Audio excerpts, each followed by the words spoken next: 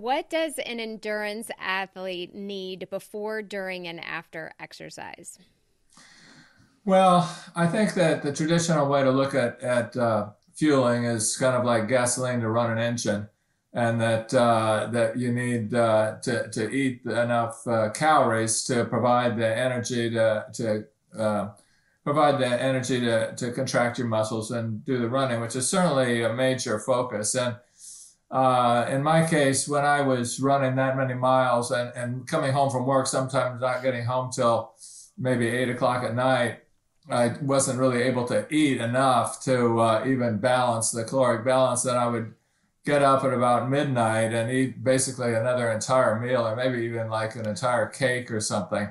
So I there was just so you know I'm not discounting the uh, importance of eating enough carbs and and and calories, but uh, I think that uh, and I and I think that's the major focus in uh, in any sort of training program is to be sure that the cal- caloric intake is sufficient. And generally speaking, I think the protein aspect of the diet is extremely important. But uh, uh, as far as dietary protein, when you're eating as many as four or 5,000 calories a day, even a low protein diet is going to provide enough dietary protein to meet your protein requirements. And as we'll get into the discussion, of specific amino acid supplements, that that's really kind of a different thing from the uh, dietary protein.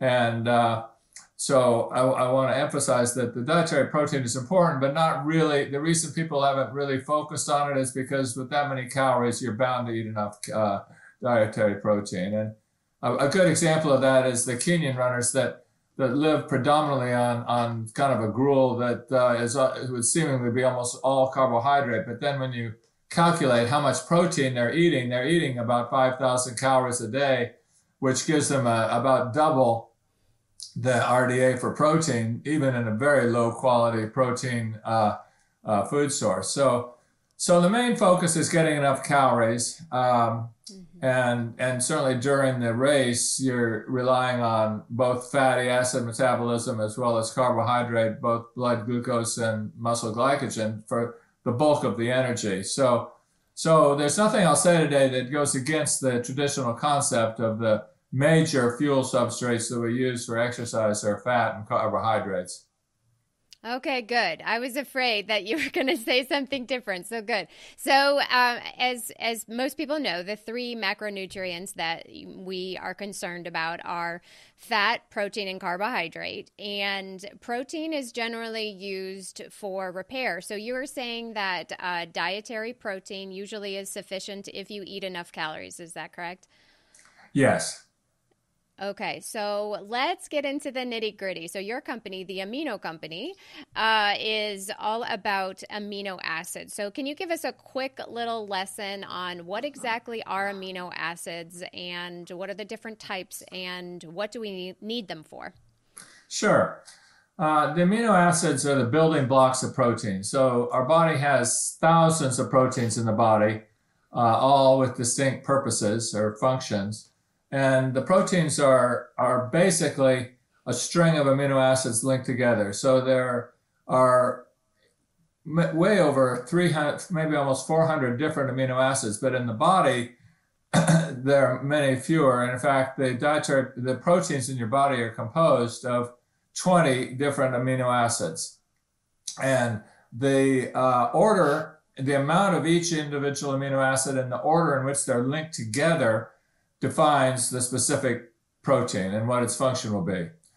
There are the sources of the pro- of the amino acids that are used to produce the protein in the body are uh, derived either from being produced within the um, body, and those would be the non-essential amino acids. And then there's a group of amino acids called essential amino acids, which are nine of them, which uh, are not produced in the body and are required for uh, uh, in the diet to be able to produce new proteins. Now, I, I should back up just a little bit to uh, talk a little bit about uh, produ- what I mean by produced protein, and that is that although we're born with a certain with all the proteins we need, there's a constant turnover of the proteins, meaning that as the protein is used, its functionality usually decreases. And this is particularly true with muscle protein, where it gets degraded and not uh, functioning as well. And so those proteins are broken down and new, better functioning proteins are produced. So there's this constant protein turnover whereby we uh, break down the older, not so great uh, working proteins and replace them with new, well functioning proteins. And for that, we need a constant supply of the building blocks of the proteins, the amino acids, to produce new proteins. And uh, the, uh, the non-essential amino acids can be produced in the body, so they don't really need to be eaten in any great quantity. But the essential amino acids cannot be made in the body. There's no real reservoir of them, so therefore we really have to eat a regular supply of the essential amino acids to maintain this protein turnover that keeps our body protein in a good state. Okay, so when we're eating enough dietary protein, does that mean we are automatically eating enough amino acids, the essential amino acids that we need? No, there's a great variety of the uh, composition of dietary proteins.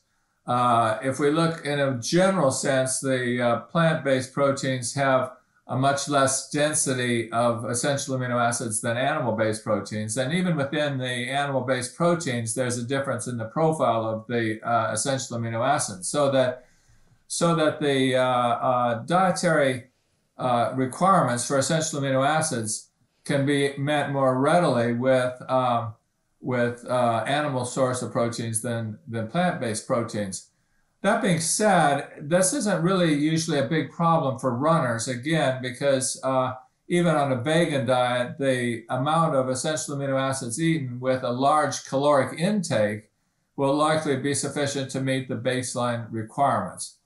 So I think that it's important to understand that the dietary requirements uh, are telling us not only how much protein we should eat, but how much of each individual essential amino acid we should eat are predicated on the baseline amount we need to avoid deficiency.